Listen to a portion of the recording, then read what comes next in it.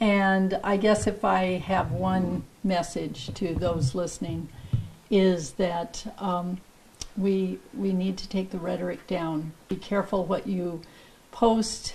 Um, think about what you say on social media. Think about what you say to your neighbors and friends and family.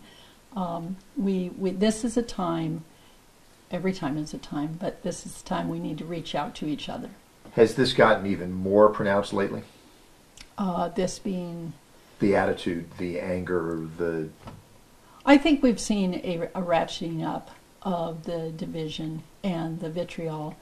And uh, we certainly, in the when I was in the congressional office, um, got terrible phone calls, and you know the uh, the the uh, language was was extreme.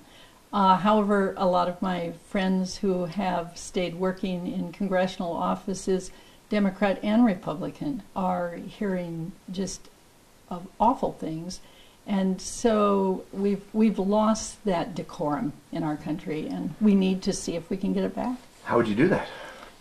Well, I think it starts very young, and we really need to two things: uh, teach uh, how to discuss with civility, and we also need to um, model that, and especially in social media, we need to model.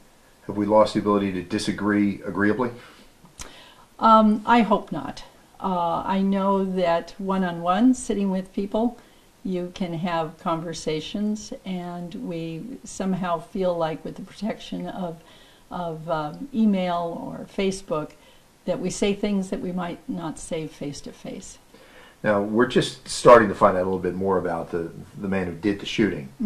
Does this say anything about gun issues as well? Well, gun issues will always be